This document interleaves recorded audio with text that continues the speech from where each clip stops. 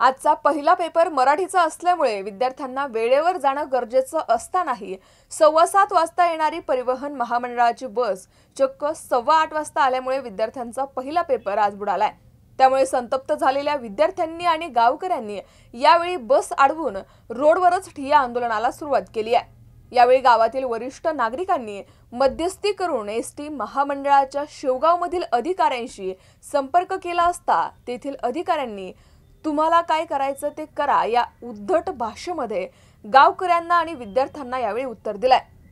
त्यामुळे संतप्त झालेल्या गावकऱ्यांनी आणि विद्यार्थ्यांनी प्रमुख जोपर्यंत येत नाही तोपर्यंत एस टी जाऊ न देण्याचा निर्णय घेतलाय. थाटे वाडगावमध्ये एस टी बस वेळेवर यावी जेणेकरून विद्यार्थ्यांचं शैक्षणिक नुकसान होणार नाही म्हणून अनेक वेळा अर्ज विनंत्या करूनही शेवगावचे आगार प्रमुख देवराज यांनी याकडे दुर्लक्ष केलंय. यावेळी आगार प्रमुखांनी ठोस पावले उचलली नसल्यामुळे विद्यार्थी संतप्त झाले होते. स- सध्या अकरावी आणि बारावीचे पेपर चालू असताना सुद्धा रोजचा आजचाच प्रॉब्लेम नाही आहे हो का बऱ्याचशा दिवसाचे एक ते दीड महिन्यात प्रॉब्लेम आहे. आम्ही प्रत्येक वेळेस जाऊन सुद्धा ते टायमाला बस पाठवत नाही. आज पेपर सध्या मराठीचे पेपर असून सुद्धा त्यांनी आज साडेआठला बस इथं गावात आलेली आहे. आणि त्यांनी आजपर्यंत कोणतीच आमची अशी तक्रार मान्य केली नाही का? ते आम्ही त्यांच्यावर तक्रार करून सुद्धा बस एकदम वेळेत आजपर्यंत नाही आली. सहाची बस आमची आठला येते दुपारची बस चारला येऊ राहिली आणि सकाळची बस साडेआठ वाजता येते आमची. तुम्ही याच्या अगोदर निवेदन दिलेलं आहे ना? हा, याच्या अगोदर आम्ही चार पाच वेळेस निवेदन दिलेलं आहे. आमच्याकडं प्रत पण आहेत त्याच्यात. ही गाडी काय जी सकाळी सकाळी साडेसहाची गाडी साडे साडेआठला येते.